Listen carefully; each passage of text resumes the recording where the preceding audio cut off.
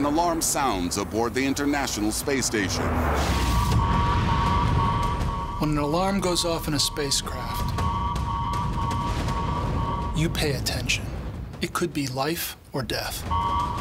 It signals dangerous levels of radiation. If this was coming from a natural source, they should have known because they keep track of these things.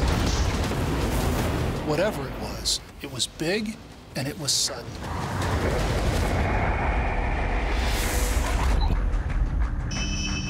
April 14th, 2016. 249 miles above the Earth.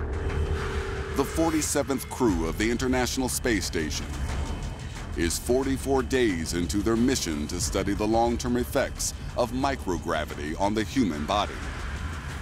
The station's emergency alarm shatters the quiet. It's a loud, blaring alarm, and you realize it can be a very serious event that you might have to spring into action very quickly. But the alarm gives no guidance about what's gone wrong. They have no idea what the problem is. Toxic gas leak, an onboard fire, a drop in air pressure. Any one of these could be fatal. The astronauts rush to diagnose the fault, but one of the main computers is registering a malfunction.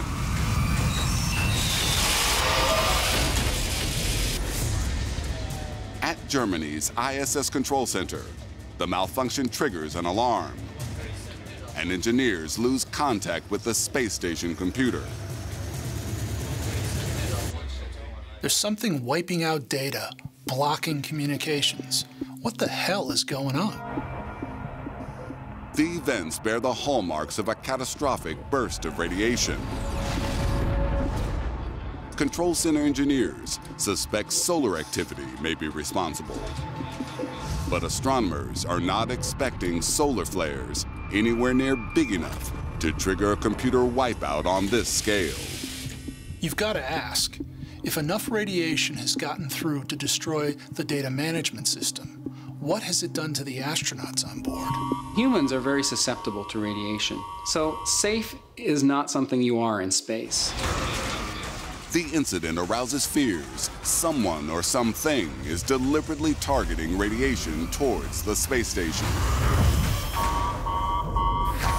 A nuclear detonation generates an electromagnetic pulse. Put simply, this EMP can fry all sorts of circuitry and other equipment. A blitz of radiation powerful enough to knock out your data system is gonna make you feel like you're under attack. If you wanna knock out a spacecraft in one simple blow, radiation is a clean and simple way to do it. The nightmare scenario is the space station has been blasted by a nuclear weapon. None of the major powers have been known to test any nuclear device in space for many years. That doesn't mean someone doesn't have the capability today. Suspicion falls on a rogue state. U.S. intelligence fears North Korea is developing space weapon capabilities. Analysts consider the terrifying possibility. The North Koreans have launched a nuke at the ISS. Are the North Koreans developing, or have they developed, an EMP weapon that could wipe out manned spacecraft?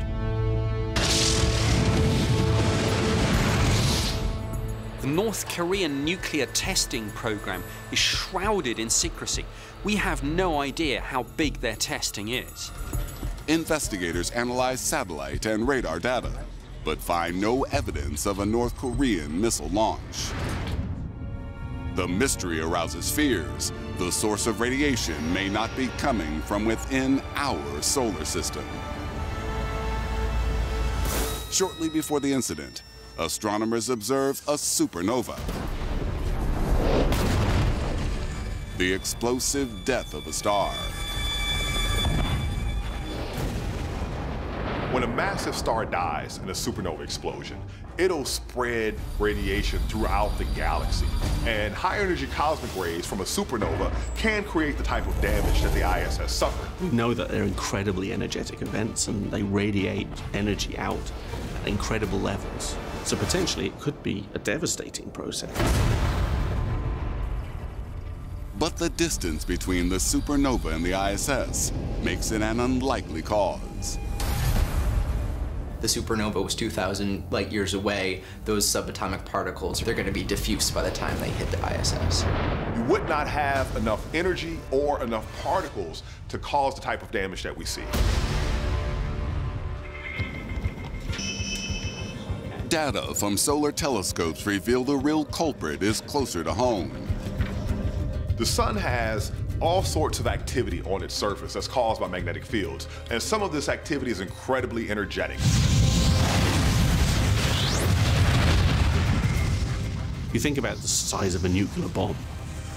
The sun is the size of a billion nuclear bombs, and it's going off continuously. There are coronal mass ejections, there are solar flares, there are jets that fly out, and these events all send out solar protons. A series of solar flare explosions on the sun are detected just hours before the ISS radiation alarm sounds. The Earth is nearly 100 million miles away from the Sun, but it only takes eight minutes for those charged particles to travel that distance. A massive burst of radioactive solar protons is on a collision course with the ISS. Here on the ground, we have an ionosphere protecting us, but 250 miles up in space, the astronauts don't have that. During my ISS mission, we actually did have a significant solar event where a lot more radiation was, was released, and so we were told during these parts, these different times of the orbit, uh, we were to retreat to the quote-unquote more heavily shielded parts of the station.